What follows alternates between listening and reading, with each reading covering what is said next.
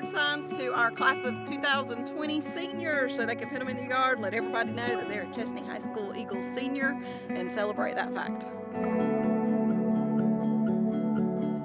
I feel loved by all the teachers at this school and it's just very heartwarming.